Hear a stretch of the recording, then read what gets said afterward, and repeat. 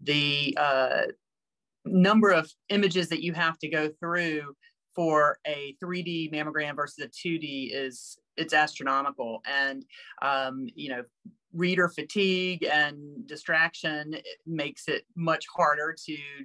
identify areas that need further workup. So having uh, a second set of eyes with iCAD ProFound AI is critical. It makes it much easier to um, find lesions and find subtle lesions that you may not have looked even if found even if you looked for a long time and very carefully. Um, and that that makes a big difference in being able to catch a cancer early versus one or two years later when it's significantly larger and will require a lot more treatment to cure